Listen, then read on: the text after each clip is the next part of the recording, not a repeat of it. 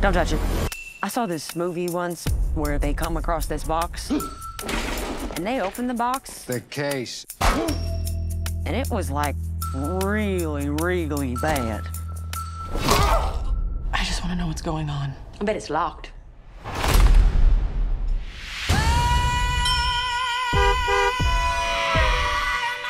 We just want to locate your friends. Who are you, jackass? That's when women curse like that. Those girls just drove off with something we need. We gotta call the cops. Cool your jets. Here's what we do. Sell it back, shake them down. That is about the dumbest thing I've ever heard. And I'm a cop. Yeah, baby. Who are you? Save the sanctimony. And hand over the million smackers. We should see what's in here.